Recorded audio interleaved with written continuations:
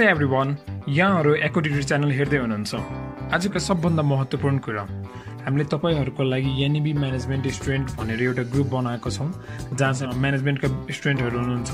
तपाईँ त्यो group join गरेर आफ्नो जिज्ञासाहरू त्यहाँ पोस्ट गर्न सक्नुहुन्छ। सिमेटको कुनै पनि क्वेसन आएन भने त्यहाँ पोस्ट गर्नु होला र त्यो ग्रुपको लिङ्क चाहिँ डिस्क्रिप्सन बक्सको फर्स्टमै दिएको छ। सबभन्दा पहिला जोइन गर्नुहोला। नत्र बिर्सिनुहुन्छ फेरि। र भिडियो राम्रो लागेमा लाइक गरिदिनु होला किनभने मैले धेरै नै मिहिनेत गरेर तपाईँहरूको लागि इन्फर्मेसनहरू कलेक्ट गरेको छु। र हाम्रो च्यानललाई अहिलेसम्म सब्सक्राइब गर्नुभएको छैन भने सब्सक्राइब गरिदिनु होला। र छेउमा भएको बेल आइकन पनि क्लिक गर्नुहोला